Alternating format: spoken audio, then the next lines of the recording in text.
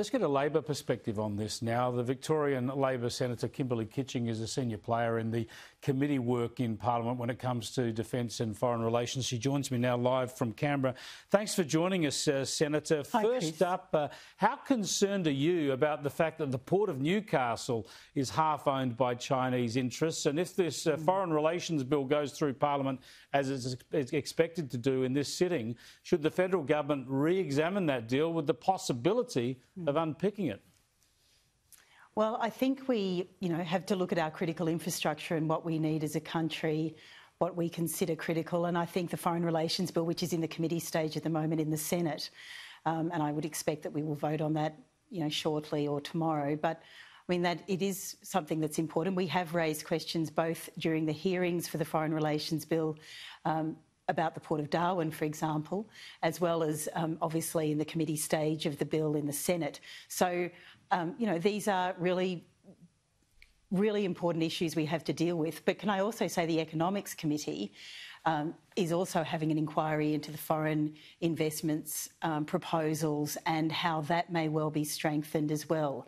So I think you know we are the Parliament, certainly the Senate, is aware uh, during in, in, its inquiries about how we might strengthen both legislation and also the rules and regulations around foreign investment and our foreign relations, really, Chris, as well.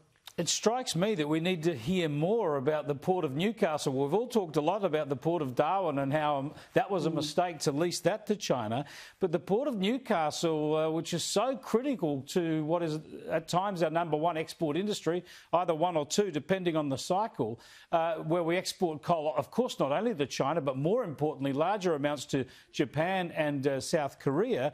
And yet that port is, is half owned by Chinese interests that support the Belt and Road Initiative. Mm. Well, I think Belt and Road Initiative, you know, those agreements will are going to be covered by the Foreign Relations Bill, and I think that you know it's important to look at those. I don't think that state and territory governments should be making decisions around having Belt, for example, having Belt and Road Initiative agreements uh, with China. I think that that belongs with the Commonwealth. And, right. and, I think I've been pretty clear about that.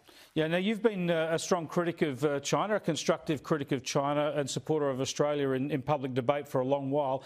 And I want to show a little clip that you draw to, uh, drew to my attention uh, this morning that you've been involved in. And this is Australia's like-minded countries, I suppose, trying to help Australia, Australia yes. when it comes to the wine tariffs. Have a look at this. After a hard day's work, nothing beats a glass of New Zealand Pinot. Two words, Napa Valley. Come on, who need wine when you have aquavit? China has cancelled a whole range of Australian imports in an attempt to bully us into abandoning our values. One of the worst affected industries is the Australian wine industry. This isn't just an attack on Australia, it's an attack on free countries everywhere. So this December, we are asking you all to join us in standing against Xi Jinping's authoritarian bullying. By drinking a bottle or two of Australian wine and letting the Chinese Communist Party know that we will not be bullied. Cheers, and also say no bullying from China. I kind of lost my train of thought as soon as we got to New Zealand Pinot myself. But uh, it's great to get that sort of support publicly. But uh, don't we need yeah. to see more countries, liberal democracies, standing up publicly on the other big issues uh, to, to, to point out China's bullying behaviour and to make it pay a price? Well, I think, Chris, that IPAC, which is the International Inter-Parliamentary Alliance on China, uh, has 19 legislatures involved, so 18 countries and the European Parliament. And it has two co chairs, typically from across the aisle.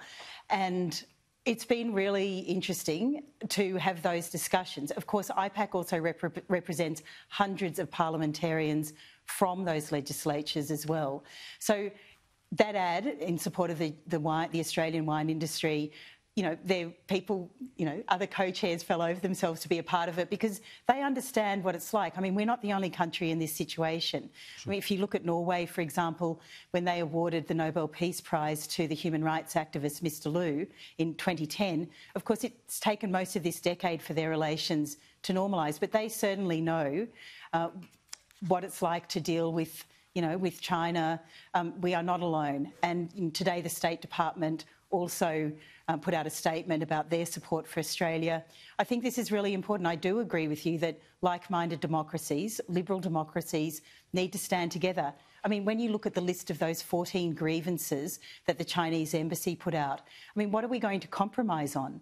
We're we going yeah. to compromise on the freedom of our press? It, you know, you couldn't report on you know human rights abuses, or well, there would well, be you know, other um, things you couldn't report on. Your former leader Kevin Rudd wants to compromise on the free, freedom of, of, the press in this country, and uh, and my old boss Malcolm Turnbull. We'll come back to that issue later. You mentioned uh, the U.S. Uh, State Department. Here's a tweet, uh, part of their message uh, today, and they're saying the communists uh, the Communist uh, Party of China's latest attack on Australia is another example of its unchecked use of disinformation and coercive diplomacy. Its hypocrisy is obvious to all. While it doctors images on Twitter to attack other nations, the Chinese Communist Party prevents its own citizens from reading their posts. So that's very good, well, strong, and not unexpected support from the US. Well, but I want to, I, I want to sorry, uh, Senator, mm. I, I, do want to get to a quote from your own leader, though, Anthony Albanese, today, and his criticism of the Australian government. He says this government seeks to have seems to have presided over a complete breakdown of relationships. The fact that ministers can't pick up the phone to each other, I find that extraordinary. Surely he's not blaming Australia for the appalling behaviour of China. I think that there is not only is there bipartisanship, Chris, in this parliament, but it goes across the, the crossbench as well. So I was on the Treaties Committee when we were looking at the extradition treaty that we were going to enter into uh, with China, and I can tell you that in this parliament there is a firm view, not only of the parties of government but also the crossbench, that um, you know that we you know do we do believe in human rights we but do I don't, I don't doubt, I don't doubt you're, you're strong on these issues, Kimberley Kitching, but that statement from Anthony Albanese seems to be playing politics with this and blaming Australia for what is appalling behaviour and bullying diplomacy and trade practices from China. Well, I think that what I can say to you is that there is a view in this parliament that we are strong together in terms of standing up for the pillars of, the, of democracy. All right, thanks so much for joining us again, Senator. I appreciate it. Thank you. Thanks, Chris. Victorian Labor Senator Kimberley Kitching there. A fascinating issue, this one. She says there's a lot of bipartisanship. That quote from Anthony Albanese tends to suggest otherwise. Let's hope they consolidate there. Australia needs to be speaking as one voice on these issues.